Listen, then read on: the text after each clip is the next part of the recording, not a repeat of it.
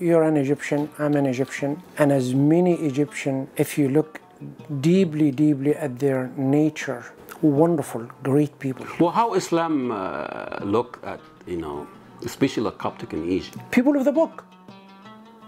Period. Dr. Hamdi Al Sawaf and Ahmed Tharwat command attention when they comment about the state of humanity. Both see hope for our often fractured world. Both have roots in Egypt. Our family also was an outsider, or not far. Mr. Tharwat hosts BelAhdan, a community access TV series, and he also writes for the Star Tribune's Opinion Exchange. I'm glad you made it today. You happy today? Dr. El Sawaf is the imam at the Minnesota Islamic Center in northeast Minneapolis. He is also a psychotherapist, family counselor, and a popular speaker around the Twin Cities. The poorest of the poor. That, that connection between the Kyriakos family and uh, my family because last August, we, Ahmed interviewed Dr. El Sawaf for a documentary. The Coptic grave is revisiting a provocative family decision made some 60 years ago in Meet Swede. That's their village in the Nile Delta. Yeah, this is one of our neighbors here. When Ahmed was a kid, his uncle Abdel Hafiz and Abdel Hafiz's best friend, a man named Kyriakos, mutually decided to be buried next to one another in the same cemetery.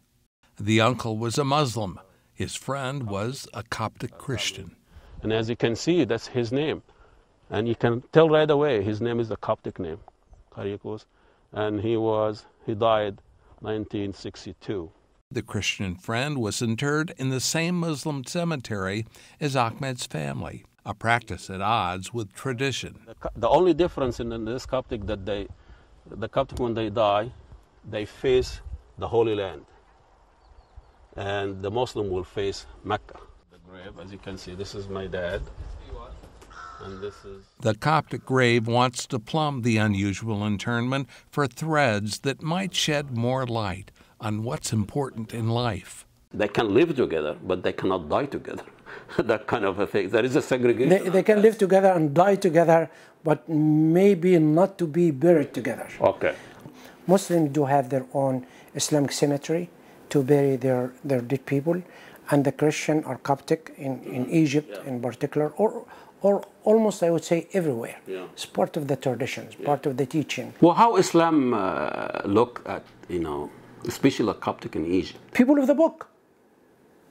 Period. These are the people of the book. And looking at us Muslims, Christian, and, and, and Jewish people, people of the book, no matter what that book is now, I don't care whether it is revised or distorted or it doesn't matter. That, that connection between the Kyriakos family and uh, my family, both of us were an outsider.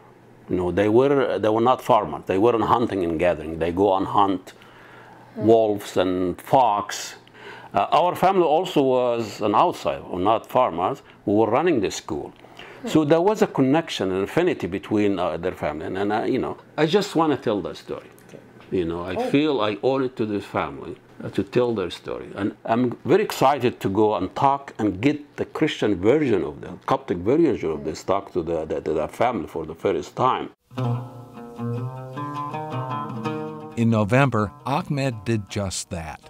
He met and shared memories with Salwa Kyriakos, the daughter of Kyriakos the hunter, the Christian who rests in peace next to his Muslim friend. A, a, a, big difference, Ahmed, between your uncle and uh, uh.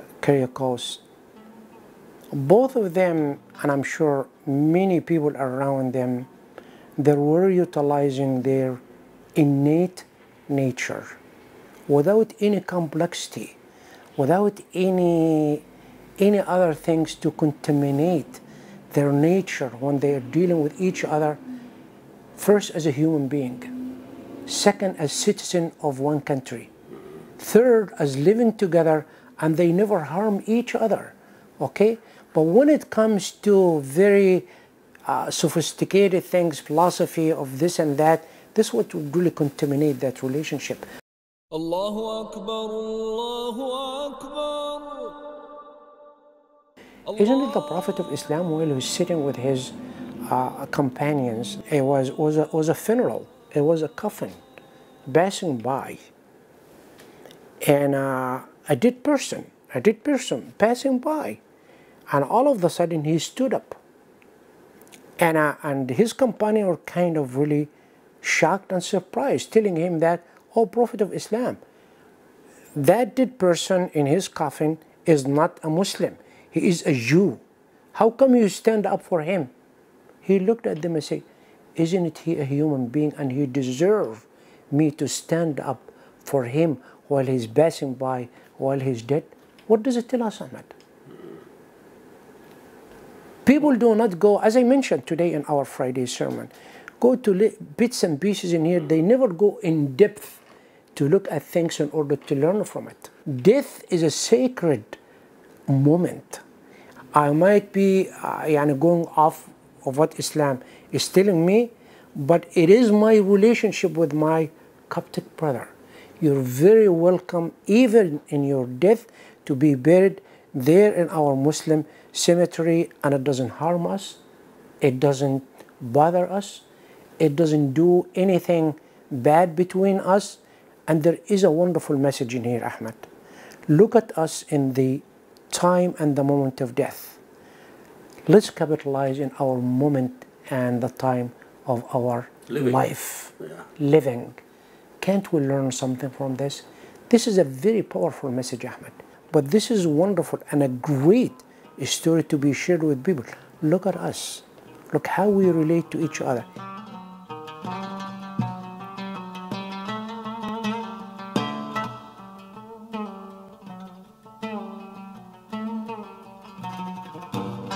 Democratic Visions is handcrafted by volunteers from Eden Prairie, Edina, Minnetonka, Hopkins, and Bloomington. Watch us on select community access channels and on YouTube. This is Carol Sundstrom.